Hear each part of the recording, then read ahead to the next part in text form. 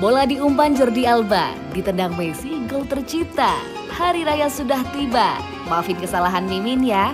Kami segenap tim Barcelona TV Indonesia mengucapkan selamat Hari Raya Idul Fitri 1442 Hijriah. Mohon maaf lahir dan batin.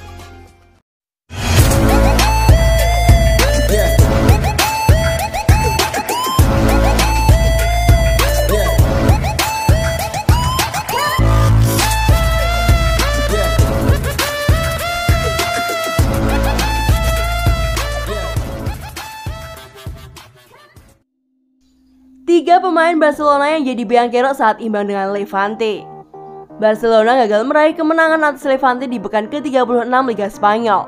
Bermain di Ciutat de Valencia, Rabu 12 Mei dini hari waktu Indonesia Barat, Barcelona ditahan tuan rumah 3-3. Padahal, Barcelona sudah unggul dua gol lebih dulu via Lionel Messi dan Pedri. Namun Levante membalas lewat gol Gonzalo Melero dan Jose Luis Morales. Barcelona memang bisa membuat skor menjadi 3-2 lagi usai Usman Dembele membuat gol. Akan tetapi, Levante kembali menyamakan kedudukan via Sergio Leon. Di sini, kami akan merangkum siapa saja pemain Barcelona yang bermain buruk saat imbang dengan Levante. Silakan disimak. Sergio Roberto Sergio memang tak main sejak menit awal di laga kali ini. Pemain asal Spanyol itu baru masuk di awal babak kedua menggantikan Ronald Araujo. Namun, keputusan memainkan Sergi jadi momentum buruk buat Barcelona. Gawang mereka langsung kebobolan. Sergi juga tak mampu mengawal Gonzalo Melero di gol pertama Levante.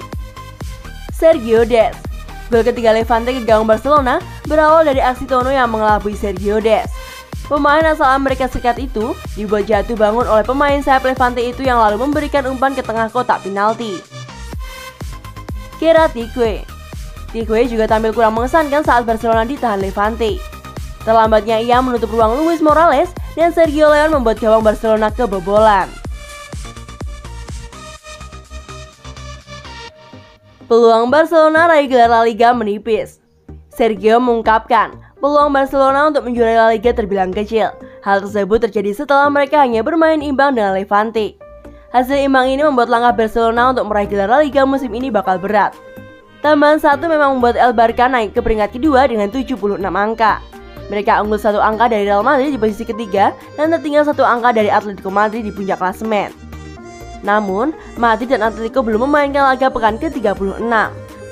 Barcelona kini harus berharap dua Madrid bakal terpleset di tiga laga terakhir mereka. Situasi ini begitu disesalkan oleh gelandang Barcelona Sergio Busquets. Kami tidak punya banyak peluang di pekan tersisa. Ini tergantung pada apa yang dilakukan tim lain. Tapi hanya ada sedikit poin tersisa yang bisa dikejar. Ujar Busquets dikutip dari Marka. Busquets menilai, Barcelona harusnya tak perlu kehilangan poin di laga kontra Levante. Menurutnya Barcelona kalah karena terlalu banyak membuat kesalahan. Kami memulai dengan baik dan mendapat keuntungan. Namun pada akhirnya itu adalah hal yang sama yang terjadi sepanjang musim. Kami membuat kesalahan dan mereka mencetak gol terlalu mudah. Ungkap Busquets menambahkan, kami tidak akurat di babak kedua dan mereka melakukannya dengan baik untuk bangkit. Ini bukan hanya terjadi pertandingan ini. Ada saatnya kami sangat bagus, tetapi kami tidak seperti itu belakangan ini.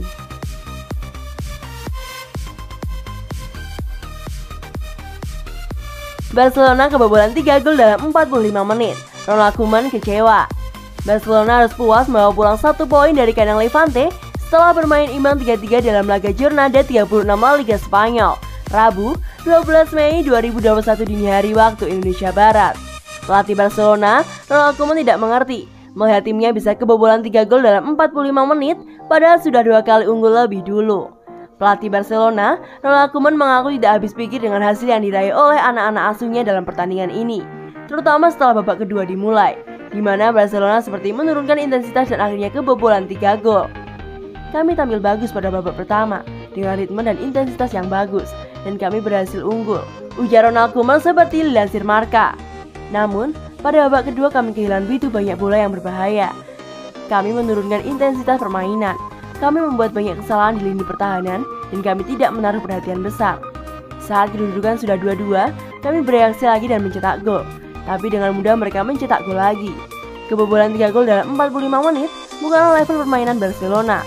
Lanjut pelatih asal Belanda itu. Kegagalan Barcelona untuk meraih kemenangan dalam pertandingan ini padahal punya peluang untuk naik ke puncak klasemen La Liga Spanyol tentu menjadi kekecewaan tersendiri bagi Ronald Koeman. Bukan tidak mungkin, posisinya semakin terpojok karena gagal memberi hasil maksimal untuk Barcelona. Menyadari posisinya sebagai pelatih Barcelona dipertanyakan, Ronald Koeman juga menyadari bahwasanya permainan Barcelona terutama di babak kedua memang patut dipertanyakan. Pelatih selalu dipertanyakan, tapi saya mengerti bahwa permainan babak kedua akan menjadi pertanyaan. Kami kecewa dan tidak mengerti apa yang terjadi pada babak kedua. Kami harus menatap ke depan dan harus mempersiapkan diri untuk musim depan. Tegas pelatih asal Belanda itu. Satu poin di kandang Levante memang gagal membawa Barcelona naik ke puncak klasemen La Liga. Namun, kini Barcelona berada di peringkat kedua, unggul satu poin dari Real Madrid yang tepat berada di bawahnya.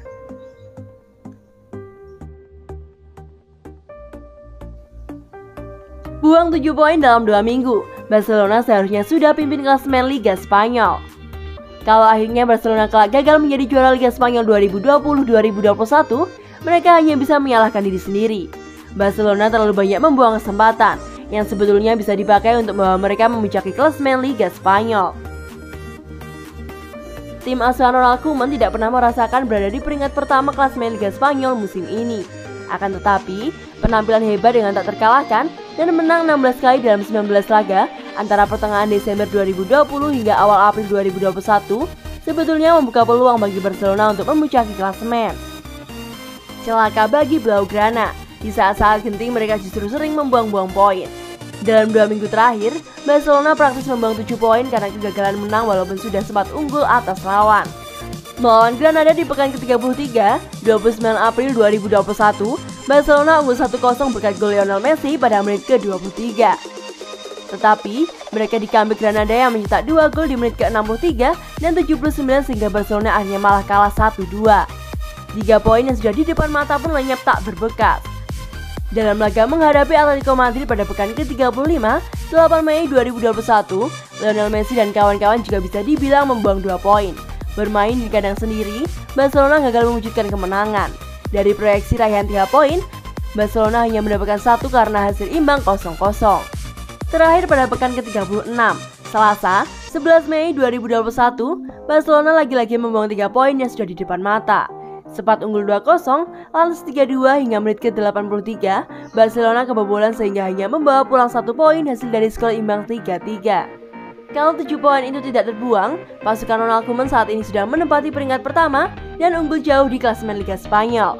Barcelona akan memiliki 83 poin, sementara Atletico Madrid 76 jika mereka terhitung kalah dari Blaugrana pada 8 Mei lalu. Flash News Mengutip dari El Chiringuito, diberitakan bahwa Simeone meminta Dewan Atletico Madrid untuk berusaha memulangkan Griezmann dari Barcelona. Barcelona telah menunjukkan minat dalam kemungkinan operasi dengan Chelsea untuk kesepakatan pertukaran antara Pjanic dan Jorginho.